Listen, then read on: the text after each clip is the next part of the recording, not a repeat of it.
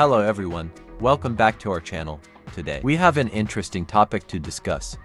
The difference between the CSS properties, box shadow and filter, drop shadow. We'll explore their differences, use cases, and when to choose one over the other. So, let's get started. Alright, let's start with box shadow.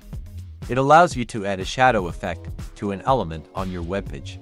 You can control the size, blur, color, and position of the shadow. It's fantastic for creating depth and dimension in your design. Let's have a look on box shadow example. Suppose you have a button on your webpage, and you want to give it a subtle shadow.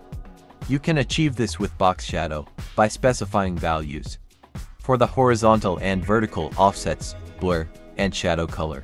If you want to know about box shadow in detail, you can find box shadow video tutorial link in the description. Now, let's talk about filter, drop shadow. This property is part of the CSS filter module and is designed to create shadow effects. Box shadow property is limited to the borders of elements, whereas filter drop shadow can apply a shadow over the entire element, including its contents. It offers more flexibility in creating shadows. To create a similar shadow effect using filter, drop shadow, you can do something like this.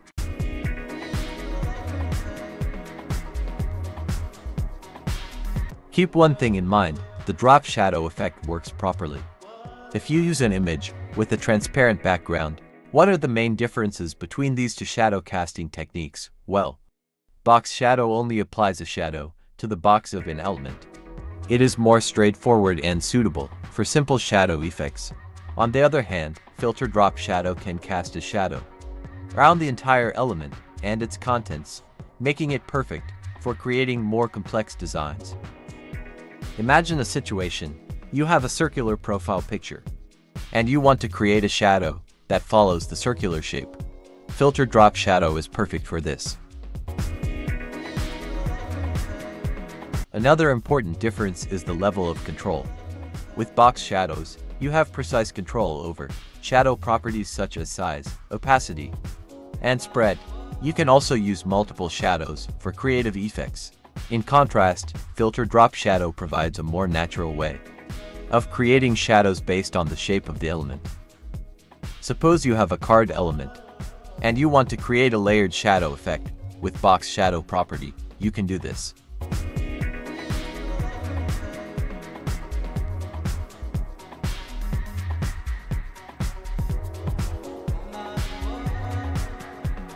Now look at another example of how layered shadows are created.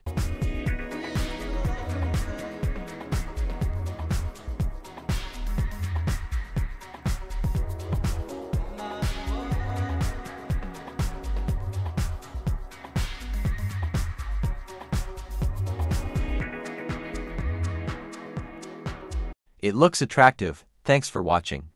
If you found this video helpful, please like and subscribe our channel, goodbye.